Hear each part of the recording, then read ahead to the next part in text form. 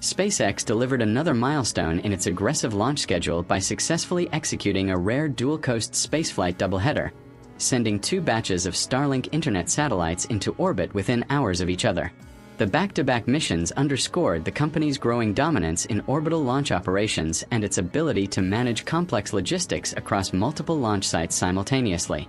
One Falcon 9 rocket lifted off from Cape Canaveral Space Force Station on the U.S. East Coast, while a second Falcon 9 followed from Vandenberg Space Force Base on the West Coast, marking a coordinated effort rarely achieved in modern spaceflight. Each mission deployed dozens of Starlink satellites into low Earth orbit, advancing SpaceX's goal of building a massive global broadband network designed to provide high speed internet access to underserved and remote regions around the world.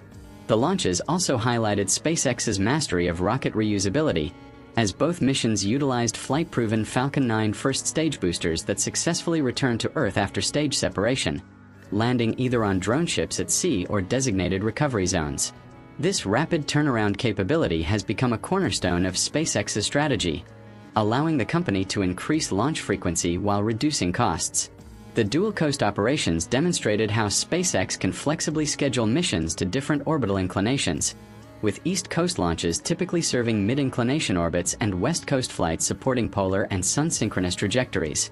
Industry observers note that such operational tempo reflects SpaceX's maturation from a launch provider into a full scale space infrastructure company with hundreds of Starlink satellites already in orbit and thousands more planned.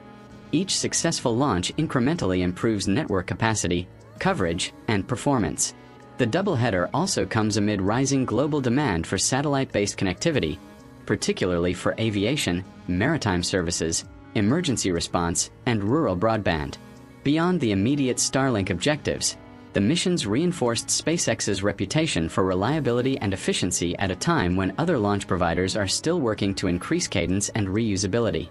As SpaceX continues to stack launches at a record pace, the dual coast Starlink doubleheader stands as a clear signal that high frequency, routine orbital access is no longer an aspiration but a sustained reality in the modern space era.